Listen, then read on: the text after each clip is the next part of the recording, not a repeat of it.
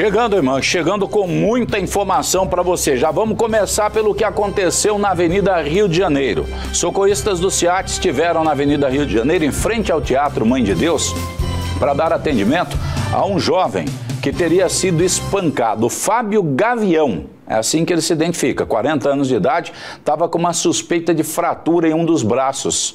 A informação é que ele teria levado uma paulada no braço.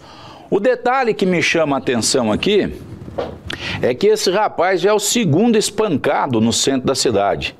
Você lembra daquele outro? Essa semana mesmo, nós colocamos no ar aqui. Eu até falei, essa conversa aí tá faltando alguma coisinha. Tava faltando o liame, como dizem os nossos juristas, né? Tava faltando a ligação entre a história que ele contava, que tinha sido espancado pelo primo.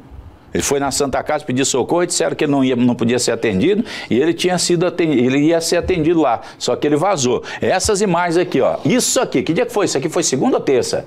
Acho que foi.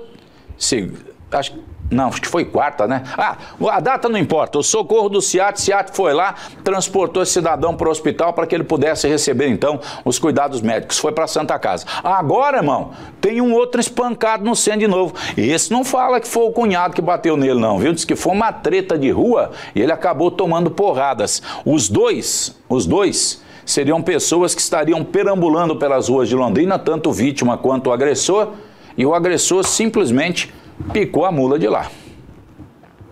O Fábio Gavião, 40 anos, foi atendido pela equipe do CIAT na Avenida Rio de Janeiro. O soldado Cavassini ele foi vítima de agressão ali no local? Exatamente, Jefferson. Ele estava sentado na calçada, sendo amparado por equipe da, da, Polícia Militar ali. A vítima relatou que entrou em vias de fato com outro cidadão ali e acabou sofrendo uma, umas lesões. Ele tentou se defender com o braço? Sim, colocou o braço na frente. Segundo ele, foi de com paulada. Ele acabou vindo a sofrer uma fratura no, no braço esquerdo. Agora, aparentemente, né, ele estava até consciente, estava orientado, conversando com vocês, estava até brincando um pouco, né? Sim, consciente orientado, estava um pouco brincalhão, mas devido ao uso de, de entorpecente e bebida alcoólica. Várias pessoas usuárias de drogas neste local e as agressões todos os dias acontecendo aqui, né? Exatamente. Agora, vocês trouxeram ele aqui para Santa Casa. O atendimento dele era é, mesmo para hospital? Ah, sim, por causa da própria regulação, pela gravidade do ferimento dele, optou por direcionar aqui para Santa Casa.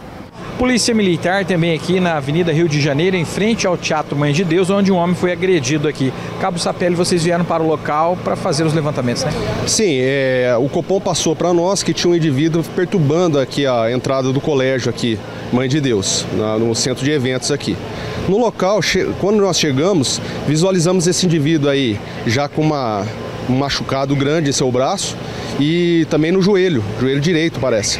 E aí ele nos relatou que um outro indivíduo que é morador de rua, é, eles se desentenderam, ele parece que teria feito uma denúncia contra esse indivíduo aí, e aí se, se desentenderam e acabaram entrando em luta corporal. Só que o outro indivíduo acabou pegando um balaustre e desferindo vários golpes nele. Agora vocês fizeram inclusive aqui no patrulhamento no local para tentar encontrar outra pessoa, né? Sim, fizemos o patrulhamento, porém não acabamos não, não identificando e não encontrando o indivíduo. Só encontramos esse cidadão aí que se encontrava lesionado aí já no local já. Vocês inclusive ajudaram acionando o CIAT, né? Sim, ele precisa de tratamento, né? Estava com o braço bem luxado, a princípio aí com uma suspeita de fratura. Onde foi acionado o CIAT e o CIAT nos respondeu prontamente. Cabo Sapelli, vários moradores em situação de rua têm brigado na rua, tentando agressão quase que direto, quase todos os dias, né? Sim, também está tendo bastante ocorrência desse tipo devido ao grande número de moradores de rua e usuários de droga, né?